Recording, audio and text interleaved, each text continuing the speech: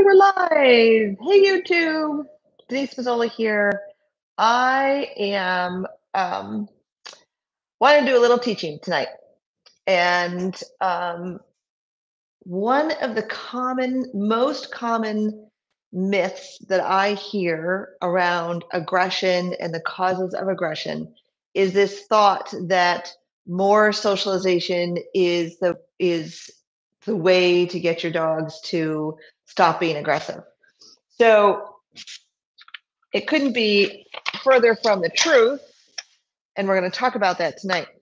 The only way to stop your dog's aggression is to look at the whole dog. You've got to look at the whole being because just like there's things that are affecting you, right? There's your beliefs, how you were raised, your genetics, like who like what genes did you get from your mom and what genes did you get from your dad and do you have a lot of anxiety? I am not an anxious person yet i have three daughters that are all anxious in various forms and formats. One's on medication two are not. And i think that it's coming you know and there's some genetic component to that right? It's not like it's not like nobody in my family has has some sort of anxiety somebody does right? But there's some genetic component to that. And this thought that on, my camera's following me around. This thought that our if we um, parade our dogs around more dogs or around more people, or if we try to take more things away from them, or if you have dogs that are fighting together in the home, you try to get them together more often, that will solve all your problems. And along with this myth about more socialization is a lot of blame and shame for dog owners because you guys get the brunt of it. Everybody has told you you didn't socialize your dog enough or you need to socialize your dog more. You say it to yourself. I've had I had an email today where the vet said to the owner, um, this is a result of the dog not being socialized enough. And they don't even know the dog is a rescue dog. He's three years old. They just they've had him for a couple of months. They don't know what his past has been like. So we're just making these big, broad assumptions that lack of socialization has caused all these problems.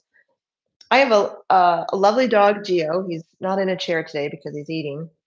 Who was probably not really well socialized. He was on a he was with a breeder.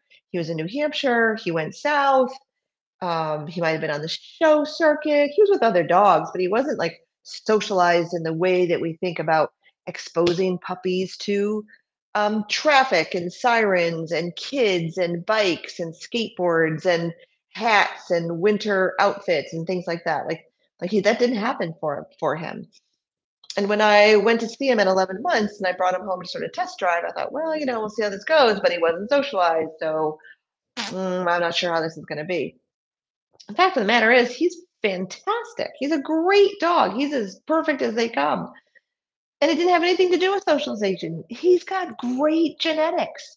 He's got great genes where he's confident and mellow and emotionally regulated and he's not worried about the environment he's not worried about noise noises or sounds or cars or other dogs or anything. He's not worried about anything. As long as I'm there, I'm his anchor, he's happy to go anywhere. And we've brought him to many, many places the city, the beach, wherever. That had nothing to do with his socialization because he probably he wasn't socialized in the way that I would socialize a dog. Okay. But yet when we believe that, oh, I've got to socialize my dog more, um, my dog is aggressive because I didn't socialize him enough, and everybody's telling you this, then what happens is you um, enroll your dog into doggy daycare. You may go to dog parks. You may walk around dog parks. You may parade your dog around more dogs. What, can my dog meet your dog? Can you give my dog cookies if your dog has some stranger danger and is worried about people that he doesn't, he or she doesn't know? Um, if your dogs are fighting together, maybe you just keep trying to get them together and hope that this time will be better, or or you yell at them, or whatever it is, but you just keep them together and you hope that the fighting will will will stop on its own. If your dog is resource guarding, you may have tried to be more dominant, more alpha, show them who's boss, take things away more frequently, um, all sorts of things. And it and yet when you try these things you know, you may end up feeling a little bit like a failure because your dog is still having problems with aggression. You still can't walk your dog um, and feel relaxed on a walk because your dog turns into this twirling dervish, barking, yelling, growling, carrying on at the end of the leash every time he sees a person or another dog. It's embarrassing. It's, you know, it's it's it's mortifying. Who wants? There's, there's not nothing enjoyable about walking a dog like that. So you do all these things. The dog isn't better. You still feel like a failure, like you haven't tried enough. You haven't tried harder, uh, hard enough. Maybe hopeless, blamed, shamed comes to mind, um, and embarrassed. Some of you have just stopped having your friends and family over because your dog has either already bitten somebody, um, or you're worried he's going to bite somebody. Your yard and and driveway is posted to stay off so that you don't worry about the dog biting anybody. And I will also tell you that not only do you feel frustrated, embarrassed, and are struggling, but your dog is struggling because aggression isn't fun, you guys. Aggression is taxing, it takes a lot of energy, it burns a lot of calories.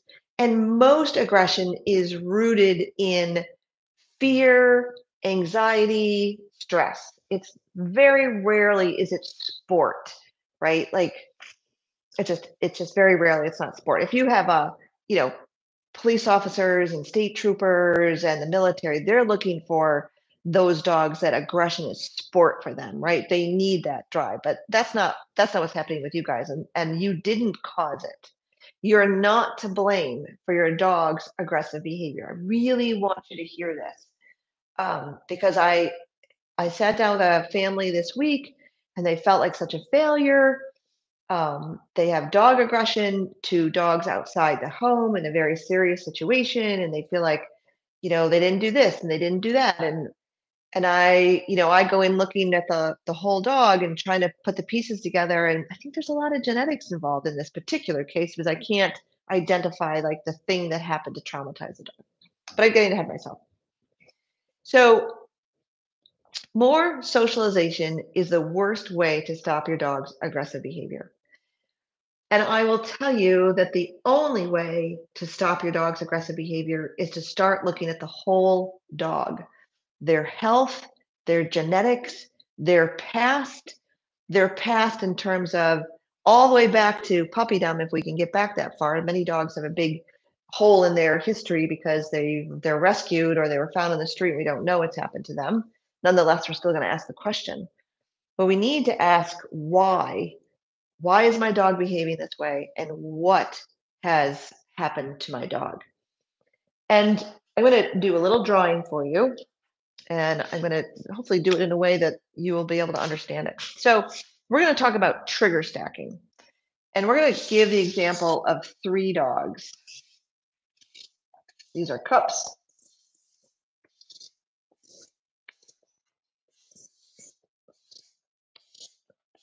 So this is doggy A. What other letter will look the same on this? Um, we'll call this doggy V so that you can see this.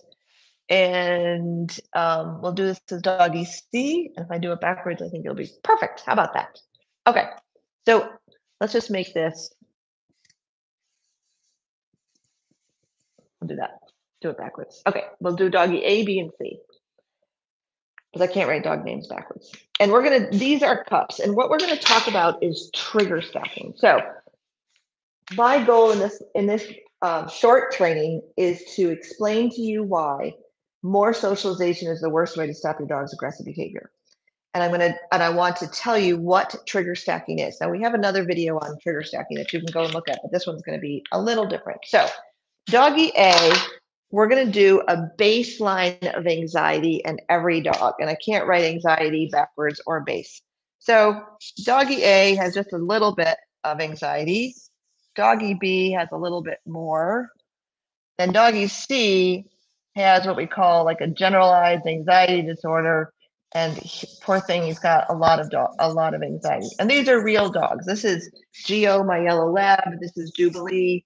Our um, unfortunately, she recently died. She was 15, but She was our recovering reactive dog. And this dog, C, is based on a dog named Ernie who has been with us for board and train and, and um, a variety of other things. And he's a very anxious dog. So in the house, right out of the right out of the chute, minimal anxiety, eh, a little bit of anxiety, and a lot of anxiety just in the house, right? This dog is anxious, thinks the world's going to end, sights, sounds, uh, walking too fast, uh, getting up too quickly, all sorts of things causes this dog. Eh, he's already anxious in the house before he even steps out into the world. Okay.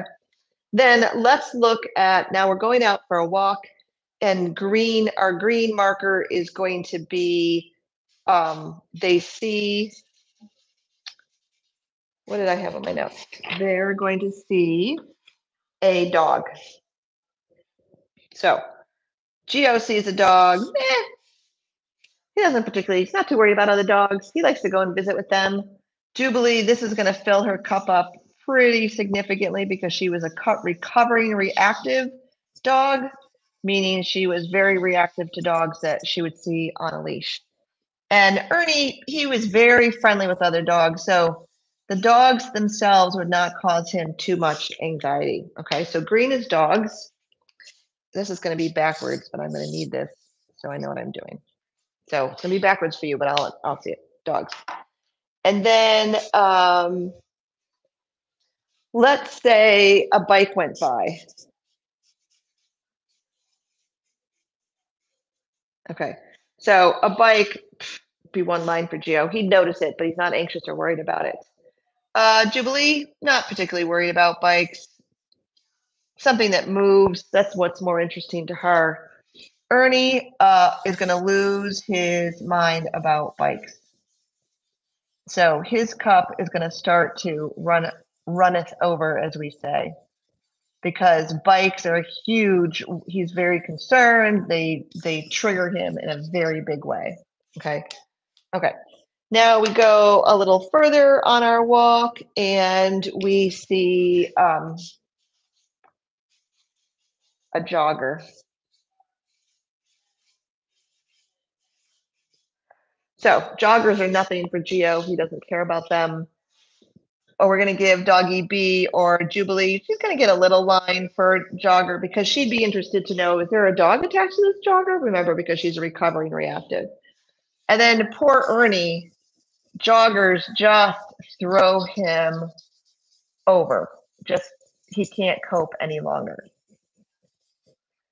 So on this walk where we are thinking that we're going to um, help this dog overcome his fear of other dogs, bikes, and joggers, he is so stressed out.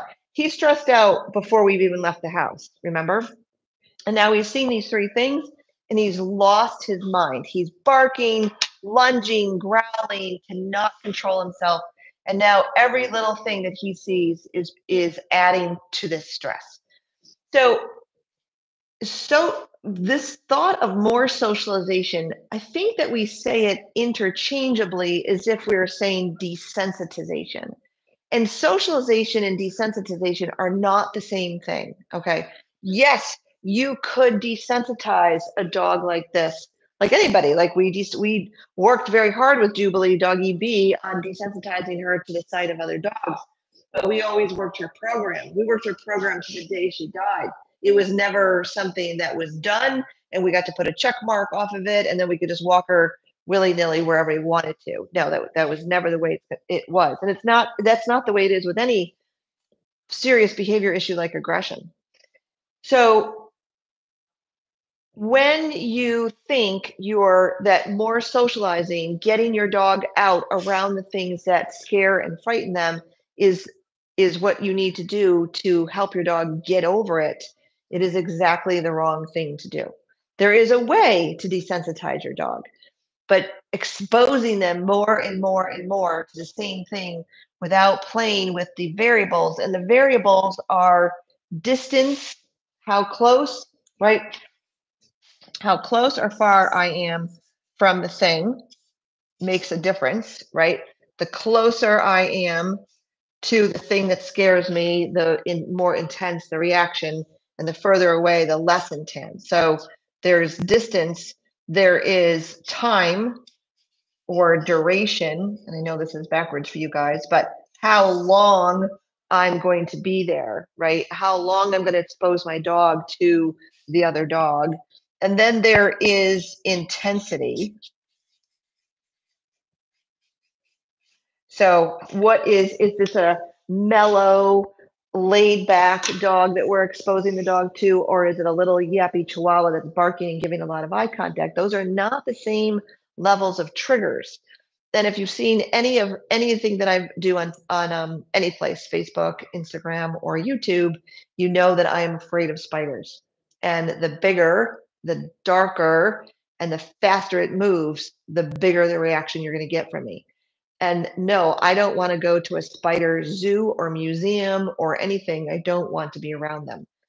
If I'm going to be around them, I need a lot of choice and control. I need the thing far away, right? There, there are certain parameters that um, that we need for desensitizing.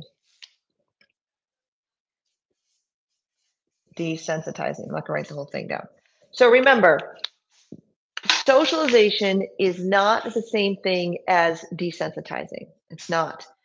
And more and more exposure, exposing your dog to more and more dogs, taking more and more things away from your dog, trying to get your dogs together without managing it properly, and they continue to fight, or um, stranger danger dogs when you when I don't know I don't know many people that try to have more people over. Usually if you're if you're worried about your dog biting people that comes into the house you just stop having people over because it's so stressful. So listen the only way that you are going to stop your dog's aggressive behavior is to look at the whole dog. You need to take a 30,000 foot view. We need to look at genetics. We need to look at their health. We need to look at their environment that they're living in we need to look at what they've learned in terms of not just things you've taught them but experiences that they have had and what they what your dog has learned from those experiences. And then we put all the pieces together in a, to this puzzle so that you can stop your dog's aggression once and for all. You can be your dog's hero it's not it's not you don't need me to train your dog and you don't need to send your dog away and i know that many of you have spent have hired many many trainers and you've spent thousands of dollars um, trying to get this problem solved. Now, I am, it's been a while since I've done a live, but I've got a couple of links. I've got a link for you. And um, let me see, I think I can put it over here. Yes, I can. So you have an opportunity right now. Let me look for this while I'm talking. To we have an online course called um, Revealing Your Dream Dog, Ditch the Aggression, Not the Dog we have people in it from all over the country, including Canada. Hang on, revealing your dream dog. Ditch the aggression, not the dog. Here is the link coming at you. We have this online course that's amazing. That we have people in it from all over the country, including Canada and they are seeing incredible transformations in their dogs because we're looking at the whole dog. Almost all of them have hired more than one, two, three trainers. Some of them have sent their dogs away to board and train with no luck. Um, some of them use shock collars. Some of them been to balance trainers, the whole gamut, the whole gamut. And there, are many of them had said, I had no intentions of doing any more training with my dog. And then I saw your program. So I'm going to give you the quick little synopsis of the program. But when you click on that link, it's going to take you to the sales page. You're going to see everything that you need. If you want to join us in the course, mentorship level is a four month four month course. You are in a private Facebook community where you can post videos, ask questions, support one another. It's amazing. And you get four monthly coaching calls. So each month you will be on a live coaching call through Zoom with myself and Amy and everybody else that's in the mentorship level. We're on those calls for as long as possible, as long as we need to. I do some teaching and we do Q&A. So that's where you dig deep, you ask all your questions about your dog. Um, mentorship level is if you want to pay in full, 385. If you want to do a payment plan, it's $92 for five months. It is a there is a 30 day money back guarantee. We want you to be happy. We want you to see this transformation in your dog. And if you're not, and you're, and I don't care what the reason is, it doesn't matter what the reason is. If you decide within 30 days, this isn't for me, you just reach out to us, let us know, and we refund your money. It's a no question ask 30 day money back guarantee.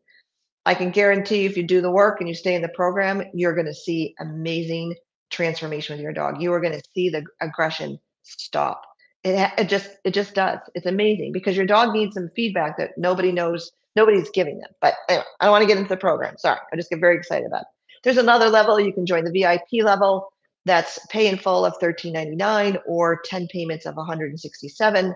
You get two calls per month, um, two group coaching calls per month, and you get three coaching calls with Kim Brophy, the author of the book Meet Your Dog, as well as we will send you the book Meet Your Dog. If you join a mentorship level, you need to buy that yourself. All right, click that link.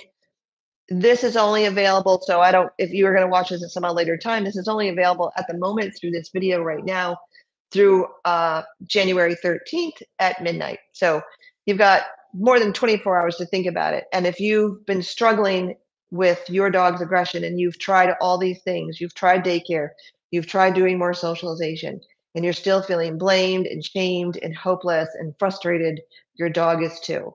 So do it for you, do it for your dog. This is not about length of time. This is about are you committed to your dog? And I know you are. And I'm looking forward to seeing you inside the course. Any questions? You know where to find us. I respond to every YouTube comment that comes I get notified and I answer uh, that same day. All right, you guys, I'll see you in the course.